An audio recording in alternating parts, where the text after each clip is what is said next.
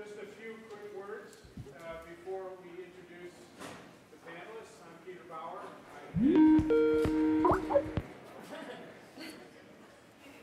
I've been with the department pretty much from the beginning. I was the first full-time faculty member. This is up over 37 years ago.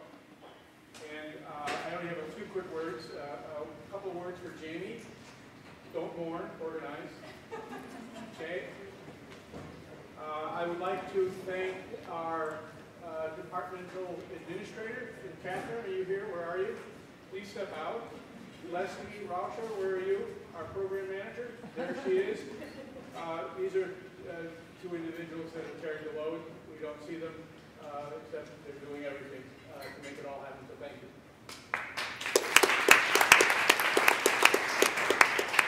I have two quick other comments. One, uh, my, my dear friend uh, Alicia Lehrer from long ago, 1988, uh, graduating class, uh, had, was uh, very kind but also a little devilish in sending her son to visit with me three years ago. Uh, I was sitting in my office and a little knock on the door, and Professor Bauer, I said, yes, uh, how can I help you? He said, my name is Max. I'm Alicia Lehrer's son, and I'm a freshman at Columbia. so uh, he's now a senior, uh, but it, it, did remind me uh, that I've been around for a while. In the, in the, in the planning for this event, um, it is difficult perhaps to describe. Um, we have a number of individuals who have made it back to visit with us. It's been wonderful. Uh, but there are so many others that aren't here. And one thing that became apparent to me is the scale of what the department has produced in its 35 years. I don't know, it must be 400 and some majors. There's, you know, ample number of minors, and then a host of students that are in the urban studies and environmental science uh, program. And then there are also many others that have maintained uh, contact with me after taking maybe the introductory environmental science class that have gone on to do things that are related to the environment. And the, the, the nature of the work is it's environmental lawyering, it's uh, leaders in all kinds of various movements, uh, in government, uh, and so forth. Uh, it really is impressive. That's really what I wanted to say.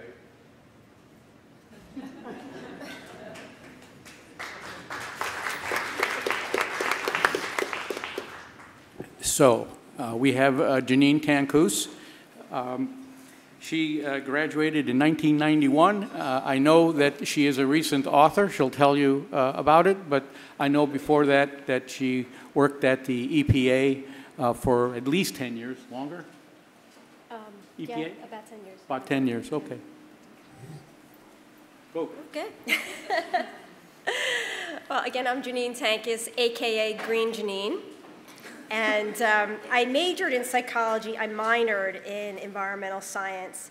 And my having studied these two disciplines has been very useful to me uh, because an integral part of really everything I've done has been communicating environmental science issues to the public and trying to influence people to change their behaviors.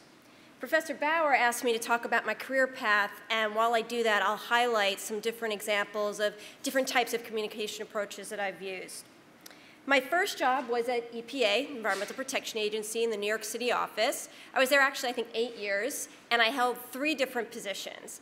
In my first job, I was a solid waste management specialist, and it was actually a paper I wrote for a class with Peter my senior year that not only got me interested in the topic, but helped me to get that first job. Because in writing the paper, in my research, it was about solid waste management, I learned about EPA's roles and positions, and it was demonstrating that I had that knowledge in my interview at EPA that really helped me to stand out from among the other candidates.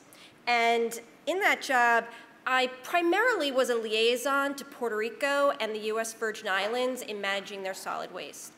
I did that for four years, and then I took a role, a, a job in the policy and planning branch, where in that position, I was able to work on a variety of EPA programs, and I was able to become more knowledgeable on a broader range of environmental issues.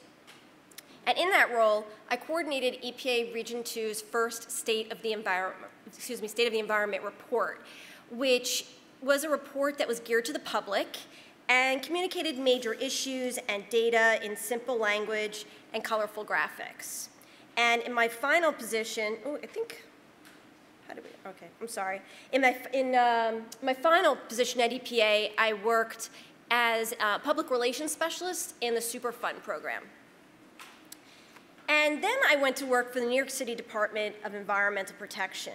And I worked in a community planning office, and I worked with local planners and the public to protect the watershed of the New York City water supply. And this is an example of a project I enjoyed working on there, where this is a, a park that is uh, very, very popular in the area. It's below the Kensico Dam, and I put in three signs to be a permanent educational display. And the first sign explained the history of the dam, the second sign explain what is a watershed, and the third explain to residents what it is that they could do to try to protect the water supply. And a sign like this has to have eye-catching graphics to attract people to look and use as few words as possible because most people won't stop for long. And during my time at EPA and at DEP, I went to school at night to get a master's in biology specializing in ecology. I did that at Fordham University. And also during that time, I was um, a docent at the Bronx Zoo, where I worked in their Department of Education as a volunteer teacher. Then I moved to Fort Worth, Texas, where um, my husband had a job offer and we just decided to move there. And there weren't as many opportunities in environmental science, so I decided to pursue another love of mine, which was photography, and I had a small portrait photography business while we were there. Then, after six years, we moved back east to New Jersey, where I am now, and I chose to focus on volunteer work in the environmental field because it allowed me more flexibility as I had two small children. And I became the chair of the Environmental Commission of my town, and I'm also on the board of trustees of ANJEC, which is a nonprofit organization that helps to support the environmental commissions throughout the state of New Jersey. My environmental commission reviews environmental impact statements for all the development in my town, but also conducts a lot of different types of environmental um, education projects. And here's an example of a fun project that I just very much enjoyed working on. Um, it is a traveling display that I created with an elementary school. And that sculpture is made out of 365 empty water bottles that the kids collected from their cafeteria. And what, with having the sculpture like this, the idea is that people are attracted to come over and see the sculpture because of its size and it looks different. And then once they're there, they see information on the label, which um, I don't know if you can really read it, it's kind of small up at the top, but it's basic information about the problems associated with disposable water bottles. And then for people who are inclined to read a little further, we had this banner that has much more detailed information on the environmental issues that goes along with the bottle. I'm extremely excited about a project um, I'm working on right now that we're calling the Eco Patio. And this is an area that's going, that, it's in a, a recreation center in my town that gets tons of foot traffic. Um, literally tens of thousands of people will pass by here each year. And it's going to be a spot that will teach about a variety of environmental issues. And we are painting murals on the buildings that are there and putting in this patio to help draw people to the area. And then once there, there will be educational signage that teaches them about a variety of things, and they will see there a monarch way station, a rain garden. The pavers are permeable pavers, so they'll learn about non-point source water pollution, and the benches are made, um, all the seating will be made from recycled plastic. I have two sons. They are 12 and 15 years old, and my 12-year-old son has always had a particular interest in being green. So he and I published a book together called Let's Go Green Together. And our goal with that book is to empower kids to take action and inspire people of all ages to go green. I'm really very surprised that 25, it's more than 25 years since I started working at EPA, and I so often still see the same problems that we saw back then, like people idling in their cars, low recycling rates, so much waste. And so we took a, we created the book taking a different approach. And the, the project combines my backgrounds in environmental education and photography. So over a few years, I took photographs of my son taking green actions. And our book is illustrated with the photos to clearly demonstrate for children what they can do. There are lots of great books that are building awareness, but I found that they often direct children to do things that as children they can't do yet. So, uh, for example, things like turning down the thermostat. And we focused on things that kids can really do. We made the photos whimsical and we wrote silly captions to help keep the book engaging. So just a, a few examples up here. There's um, one picture where I show you a whole page, and that's showing that um, my son's name is Aaron. Aaron has a recycling bin in his own bedroom, and it's an action shot, and it says, bye-bye paper. I hope you get turned into something good like a candy wrapper or a baseball card. And then the square picture at the top is from a section called Only Take What You Need. And it's preceded by a picture that has the caption, One paper towel is enough for me. And this picture has the caption, Those are enough paper towels to dry an elephant. And the picture with the butterfly on his face says, Love nature and it will love you back. Now, that picture with the monarch butterfly actually ended up in the book because he and I also raise monarch butterflies and we teach about that. Um, that's another interesting thing, but we don't have enough time to get into that. So I want to let you know that on my website there is some information about that, and of course you can ask me about it as well. I also want to mention that the book encourages kids to play outside and connect with nature, because without that, they will never care enough, really, to go green. And I wanted this book to follow one child. So the reader would see one kid incorporating all these actions into their daily life and relate to that child. It's written in the first person in Aaron's voice. So it's a real kid showing you what he does for the environment. And in the book, we also um, visit some friends. And this is um, on the left, there's a picture from, I'm sorry, a page out of that part of the book because we really want to tie in, of course, the important message of collective impact. So we do that there. And we included a list of discussion questions to encourage parents and teachers to have conversations with their children about nature and about green lifestyle.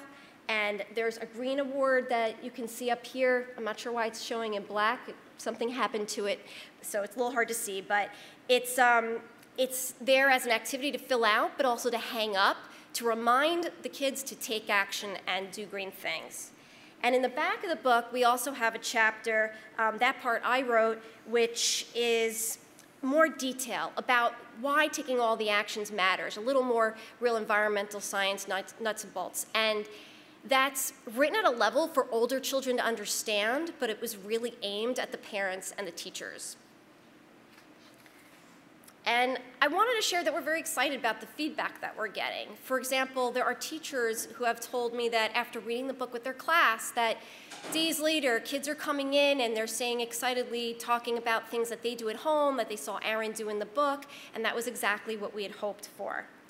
Now we need to work on marketing the book, and uh, because we just published it this summer, and my son and I are working on a video trailer for the book. Um, and I, I just want to point out in closing that with this book and the other projects that I've shared, you may have noticed that there are some very simple common themes. You need to identify who your audience is. You need to catch people's attention in some way. And then you need to keep the message as brief as possible, um, but also keep things as visually appealing as you can. And I also want to add to that that you I try to keep the message as positive I can because it was actually a class at Barnard that taught me that if the message is too negative or too scary, that generally people don't listen.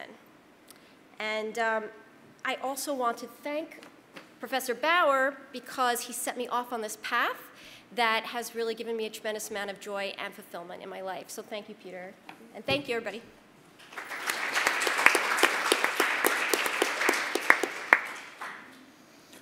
Are we going to Skype? Uh, I was on the phone, pardon me? She's there. She's on, the- oh, good, good. Uh, Maggie Dressel and I were on the phone last night. Uh, She's very sick, very, uh, even probably more upset that she can't make it here today, but thank you, Martin, and thank you, Leslie, for arranging our little Skype session. Wonderful. Thank you. Hear me? Really? Can you hear us? Yes, we can hear you. Great. Thank you so much. Um, I'm so sad, like Peter said, not to be there in person with you guys today. But uh, I'm battling about a 102 degree fever and strep throat and a cough. Basically, my immune system has given up on me. So thank you for um, allowing me to join you virtually. Um, and thank you, Peter, for the opportunity to share a little bit about my career path with everyone today um, and how you and Barnard have, have shaped, shaped my life so far. Um, could, sorry to interrupt you. Can you go a little bit closer to the, wherever the microphone is? Not the, forget about the video, just the microphone. is that better? We'll see. Cool. Um, so I was an urban studies major, um, and I concentrated in education within that. And then I minored in environmental science. And I never intended to minor in science. Um, I was never kind of one of, I, I enjoyed being outside as a kid, but I was always told, you're a good writer, you, you know, maybe you'll be an English major, maybe you'll be a teacher. I was never really encouraged to explore the sciences. Um, then I took Professor Bauer's Intro to Environmental Science class my sophomore year, and uh, the rest is history. I fell in love with learning not just about the environment, but the impact that both positive and negative that um, humans have on the environment. So the pictures you're seeing on the slides right now um, are from the fellowship that I did with the Parks Department in New York City the summer after my graduation um, from Barnard. And I was stationed in the South Bronx at Crotona Park, and it was a really wonderful um, opportunity to kind of get to engage with the community there. Honestly, the community there, they use the park mostly for barbecues on the weekends, and they just kind of saw the park as a place to come together and gather with family. And so, as a park ranger, it was our job to, you know, help them enjoy those experiences, but then also uh, show them all the the interesting opportunities that the park itself um, could could offer them. And so, in the top photo, you can see the kids loved oftentimes doing arts and crafts projects, but uh, we did work in a little bit of the science and education by doing some waste identification. Um, we also had a beautiful lake in the middle of the park, so um, we would take them canoeing and fishing, and the kids loved kind of doing those fun activities. But uh, we kind of tried to work in any of the educational component when whenever possible. And then in the, the next slide, um, perfect, um, my first real job after college was at a small nonprofit called Solar Youth um, in New Haven, Connecticut. And uh, it really showed me what a small, small world it is because the founder of Solar Youth was actually another Barnard grad, um, Joanne Scully. She was class of 92. And uh, Professor Bauer was actually her advisor back in the early 90s. So um, it was great to kind of taken under the wing of another strong, beautiful Barnard woman right after graduation. Um, at Solar Youth, we were doing after school um, steward team type programs that were focused on leadership development, but also kind of environmental science and education. um, and the first steward team session I had, I was so excited. I had planned a lesson all about ecosystems, and you know I had all my materials ready. I was so excited. Three o'clock rolled around. I opened the door, and no one showed up, um, and it was really sad.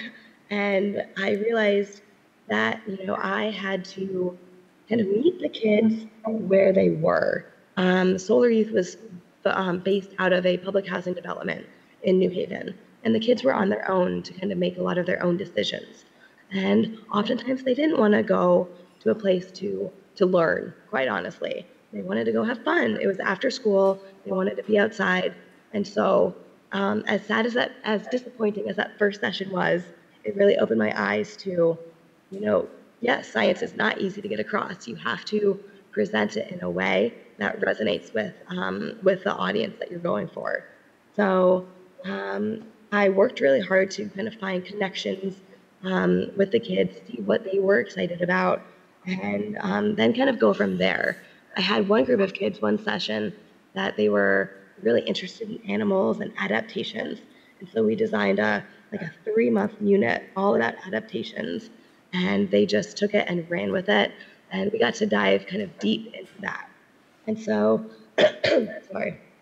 Another thing that the kids at Solar Youth were really interested in were um, creating positive change in their communities. Um, so as you can see, some of the photos, we would often end up doing litter cleanups or, you know, removing some of the larger dumped um, items from the creek behind the, the projects.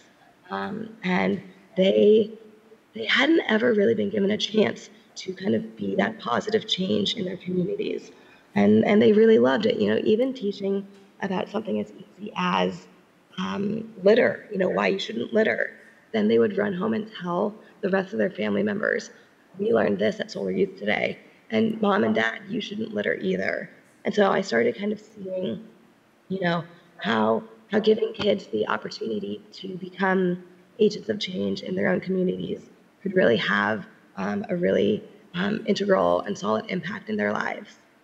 Um, and then in the next slide, um, after Solar Youth, I moved back to the Washington, D.C. area where I am from and worked at two organizations. Um, the Center for Health, Environment, and Justice um, was founded by Lois Gibbs um, of kind of Love Canal infamy in New York. And I definitely learned a lot more about the, the hard science side of things with them and all the toxicology. And um, uh, CHEJ was really focused on um, helping communities who were facing um, environmental um, hazards and health impacts in their in their lives.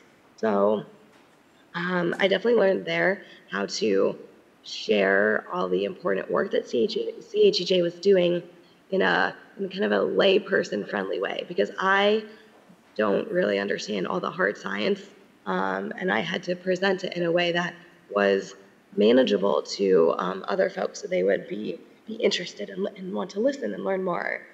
Um, and then at Conservation International, um, they their marketing is, is down to a science over there.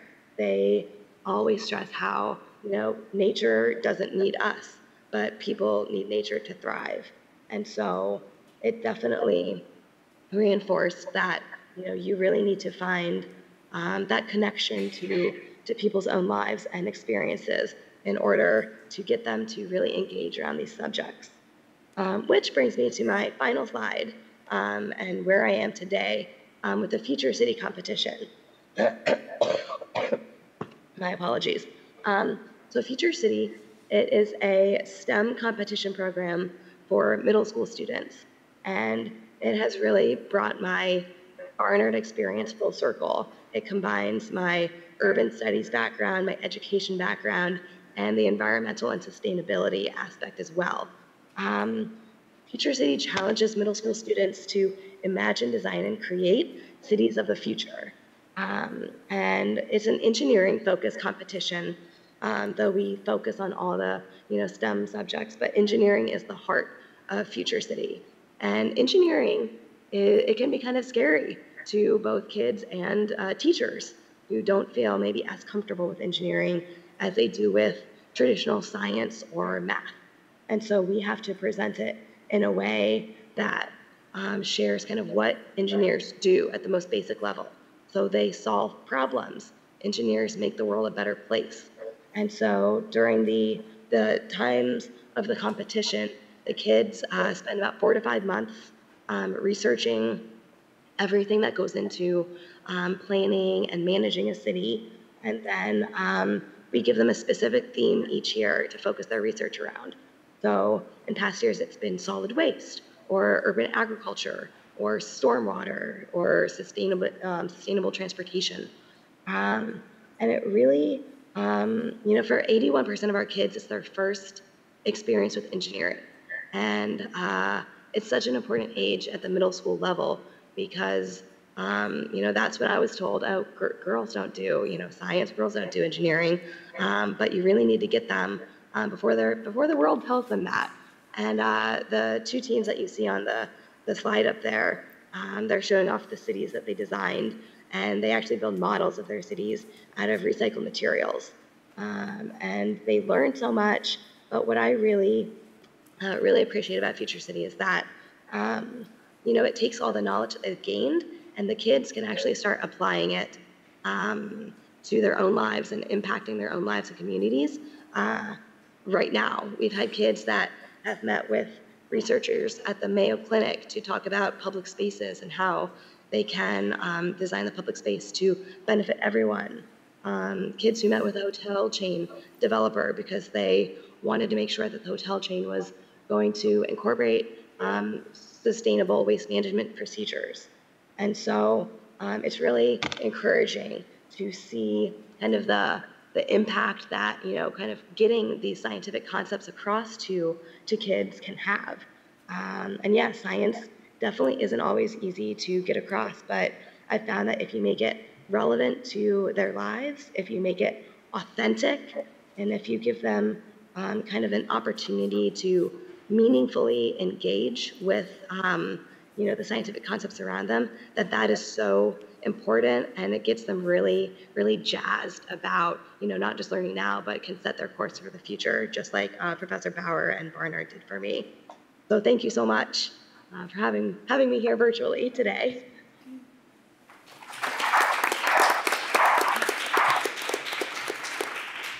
Feel better soon. thank you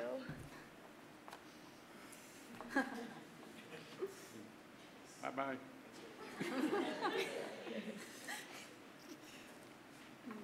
Just leave it on? Okay.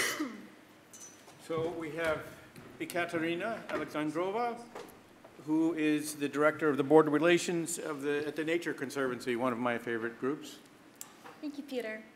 Thanks very much for coming. And I was really pleased to hear uh, so many shout outs on the previous panel for interdisciplinary careers because my career has definitely been interdisciplinary and it all started here at Barnard with a Bachelor of Arts degree with the seven ways of knowing and all of the literature classes we had to take and the language classes and a study abroad in Paris. But at the same time, I did some significant studies um, with Brian Mailloux on microbiology and arsenic research, which was pretty significant for uh, undergraduate education. And so after college, I worked for a number of organizations, um, first starting out as an environmental consultant for radioactive waste management company. Um, then I moved uh, for several years to Central America and Mexico and worked with several um, nonprofits working on land use and uh, re, um, deforestation um, measures, REDD Plus, if anybody is familiar with the carbon lingo. Um, I ended up getting another interdisciplinary degree in uh, conservation leadership from Colorado State University and eventually ended up at the Nature Conservancy working for the CEO.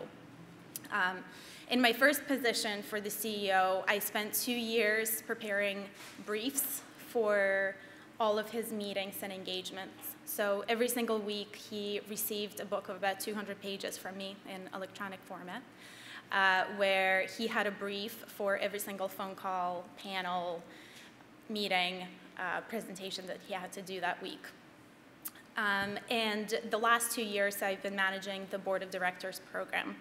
Uh, the board of directors for the Nature Conservancy is a governing board, so they have fiduciary and legal responsibilities for the organization, but at the same time, they're extremely engaged and really want to comment and advice and help with the conservation strategy. So in reflecting back on my career with the question of what are some of the innovative ways of communicating, um, I would say that I've come to a realization that in the environmental and the conservation fields, we, the, the principles of environments and everything we're trying to promote are becoming more commonplace in the society. But still, for the most part, we're often communicating and trying to engage with people who fundamentally don't understand the concepts that we're trying to connect upon.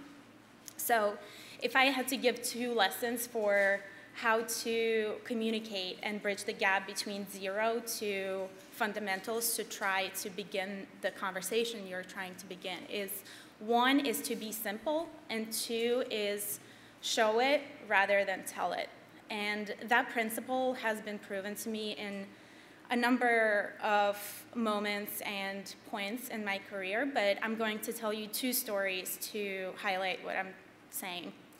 Um, the first one is from when I worked with the small organization in the south of Belize um, in the Caribbean. Uh, the organization was a very small local nonprofit that focused on connectivity of the rainforest between the Maya Mountains of southern Belize and the Bay of Honduras, uh, which connects to the Caribbean Sea. So there are a number of approaches that we used. We had a couple of protected areas that we managed. We worked with the national government to implement particular uh, regulations and programs for the country overall, but most importantly, we worked with the communities around the protected areas that were the core centers of the forest we were trying to protect. And those communities um, were living in a very, very um, basic way, using the resources that were surrounding them. So a lot of that work was basic on a fundamental level. Uh, most of what the people in the communities did was subsistence farming and uh, some cash crop raising, um, but very few. So part of the work was to work with farmers on their practices, but a lot of the work had to do with basic environmental education. So that education involved kids who uh, lived in those communities, and it also involved their moms who were often uh, not educated at all. Uh, the so south of Belize became connected to the rest of the country only several years before I got there. So even Belizeans from up north thought of that part of the world as so far and remote that it might as well not exist. So the communities uh, were all based around rivers. It was a pretty, pretty massive watershed with a ton of rainfall, and all of the rivers would empty out into the Bay of Honduras. So, one very simple problem was the rise of pollution from plastics that were coming into the communities all of a sudden. So, a very basic idea of if you put something in the river, it's going to end up somewhere was not understandable to somebody who doesn't know where the river goes and how the watershed is connected to anything else. If you put something in the river, it goes away and you never see it again. And so the idea, once we realized that some people actually don't know where the river goes because even though they live 20 miles away from the Caribbean Sea, they've never seen the sea, was really eye-opening. So what we ended up doing was getting some funding to run programs for local schools where we would take kids, it was focused on kids and their moms uh, because women often didn't leave the communities um, uh, there. So we held these field trips where we would take people on the boat down the river into the Bay of Honduras, and then we would take kids snorkeling. And the, the, the, idea seems very simple, even describing it, but in reality, as if it's a concept that you so fundamentally don't understand, that's really the only, the simplest and the most straightforward way to explain to somebody the connectivity of watershed and rivers and the sea. Um, so that's one example. And I really don't want to make it about, oh, it's a community that didn't have a lot of education, was really isolated, because that same principle applies to other places as well. So my other example is from my current role in managing the board of directors at the Nature Conservancy. It's a board of 25 people who are all extremely accomplished, very educated. They're all former CEOs of major companies all over the world. And as I mentioned, um, they are very involved with our conservation strategy. But of course, on a lot of the topics that they advise upon, they may or may not have a particular background. So a lot of the time, what they advise on is the principles. So you have this idea what's the best way to scale it globally and do it quickly and do it effectively and efficiently.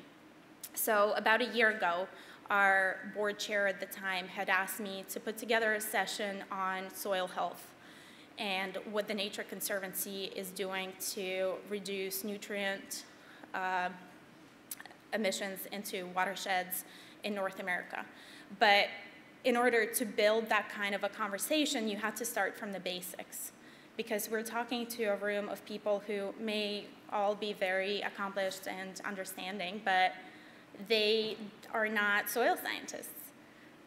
Um, so in order to be able to engage on that topic, you had to explain what is soil, what is it made of, uh, what are the thousands of different types of soils that exist, and uh, what are some of the agricultural practices that can reduce impact on soil erosion and improve the soil quality, and what are some of the simple uh, solutions that we have, and then translate that into a conversation of how do we scale it at a national level. So in order to begin that discussion, we set up a lab. Um, I invited some of our uh, soil scientists and agriculture practitioners from uh, the Midwestern states, and we actually set up a lab that you would for middle school students. We had actual soil samples, we had soil cores in order to show the stratification. Uh, we had maps of thousands of different types of soils all over the country in order to explain enough fundamentals that we can then have a meaningful conversation. So, I'm so, so in, in, in these two examples, it, it really is about simplicity and focus of what it is that you want to connect on and discuss. And two, showing is always more straightforward than telling if your aim is to start from zero and get to a point of the conversation. So I'm looking forward to hearing your ideas and questions on this and, and challenges. Thank you.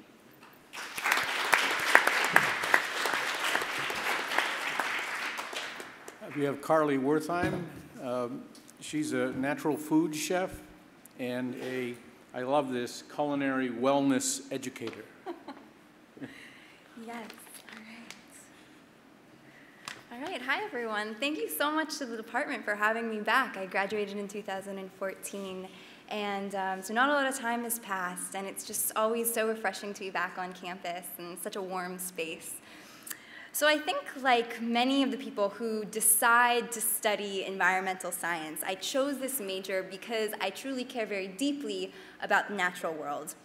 I came to Barnard and I just wanted to throw myself into really understanding all of these dynamic processes of our Earth systems.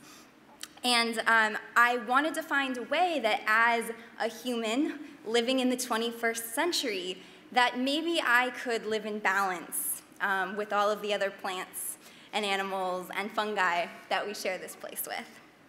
So what happened is that during my time at Barnard, I discovered this triad of passions that at the time in college were really competing for um, my time and my focus, but that over the years have come to create um, this incredible business for myself. So I'm a little bit different from some of the other panelists in that um, I have my own business, Carly's Wellness Kitchen, which was on the first slide. But so here I have some things that I like to do during college. Um, these were things I knew about myself. Uh, that from my study um, of the Earth systems, I really focused in on food. Um, I spent some time at this organic farm in Ecuador. Those are the bottom two pictures. Uh, that just rocked my worldview. All of a sudden, food became this epicenter through which all of these other environmental and social issues could radiate out from. And I came back from that farm completely transformed. So the second is that I grew up in this family where food was part of the culture. Um, I come from a line of butchers literally. Um, and so nightly family dinners and being in the kitchen, coming together around our shared cultural foods was just a part of my everyday. And so suddenly I was in college without those family traditions and I wanted to recreate them for myself here. So I was playing around with the kitchen, all of these um, produ- produce uh, that I was, you know, growing out in the garden, um, I wanted to create with. So I was hearing the calling of the kitchen and answering it. And then the third is that during my time at Barnard, I um, came across some personal health challenges that I had to take some time off actually to address. And what that time did is it made me really reevaluate the way that I was nourishing my body. And I had to ask myself some really interesting questions about what was the link between diet and health, and what role was food playing um, with some of the symptoms that I was struggling with. So here I was at Barnard, an environmental science student, taking absolutely every single course that had um, the word food in it, which there were no many, um, but I was taking them. I was then all of a sudden enrolling in all these pre-med courses because I wanted to give myself the opportunity to study nutrition um, after college. And I was cooking. I was cooking for myself. I was cooking for my friends, my family, whenever I could. So jump forward five years. And I actually have found a way to combine all of these passions into a career for myself. Um, I am a culinary nutritionist, so talk about translating. I am translating the science of nutrition onto the plate, into actual food that people eat. So while I was a senior here at Barnard, um, I started my business, Carly's Wellness Kitchen, out of my uh, the senior thesis project for the environmental, excuse me, for the Athena Scholars Program. Um, we got to design and implement our own projects, and I created one where I started doing food and nutrition education for cancer patients at Mount Sinai Roosevelt Hospital. And it really just seemed at the time like I couldn't find a job that wanted that kind of combined all the things that I was interested in, so I decided to make one up for myself. And today I work with individuals um, who are looking to live more healthfully, people who want to feel more vibrant, people who have chronic illness um, or acute illnesses that they're dealing with, who are looking to really use food as a tool in their treatment plans. So I teach these people. Um, I show them how to go grocery shopping for themselves, how to go to the farmer's market and pick out produce that's ripe. I work with them in the kitchen and I give them culinary skills, hoping that they build their confidence in the kitchen so that turning that food into dishes that they can eat doesn't seem so intimidating. Um, I teach uh, kids at an elementary school in Brooklyn. And I work as a personal chef for others who are unable to cook for themselves, and I create food that's really targeted to their specific and unique health challenges. And it's awesome because I absolutely love my work. So, how do I see myself as a com innovative communicator. So I view food and nutrition, really, as a direct link out into the natural world, as a way that we as consumers can vote with our forks three times a day for all of these sustainable food practices that we care deeply about. I actually believe that by consuming a carrot grown in your local regional food shed, it makes you a little bit closer to that land. And food and nutrition is also this way to strengthen the bonds to the earth and live in a way that replenishes rather than depletes our planet. So I communicate through food, through food experiences. Um, I create these different flavors and textures and create colors that people are attracted to, that they want to engage in food becomes this experience, a shared experience that everyone can relate to. I communicate through the flavors of a celery root, of a parsnip, of a butternut squash.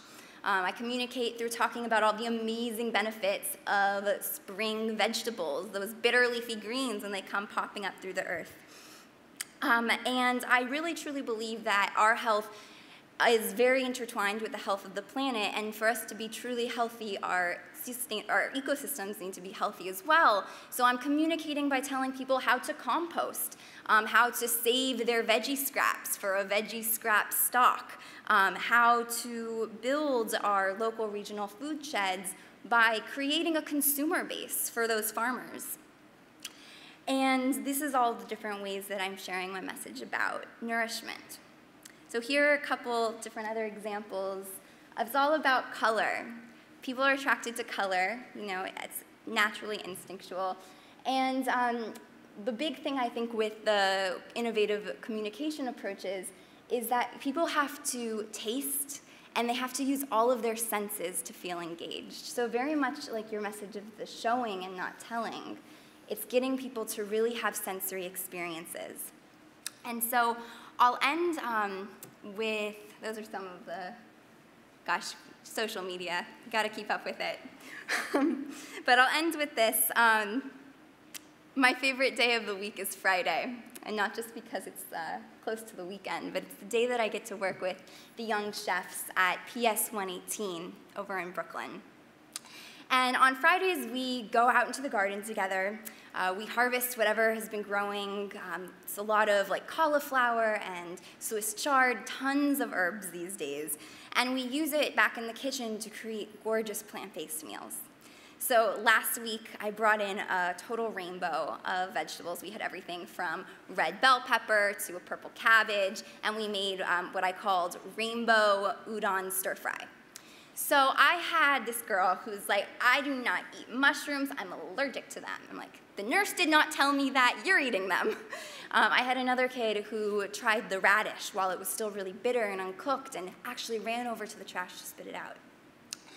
So I work with kindergartners through fourth graders. We're told all the time, like, kids don't eat vegetables. You know, that's why you have the kid menu. But when you give a child the opportunity to see how the vegetable is grown, to really get involved in that experience of creation, um, and empowering them to play around in the kitchen to create flavors that they're drawn to, it's pretty incredible what a kid will eat. Um, that same, you know, actually everyone, you know, had cleared plates at the end of the day. Um, not a vegetable was left untouched. So that's what really inspires me, is just knowing that um, we can cultivate this next generation of eaters. And all of those kids are gonna grow up to be adults who are gonna be purchasing food. And maybe they'll think back to their days at PS 118 and say, hey, I know where that food comes from, comes from the soil.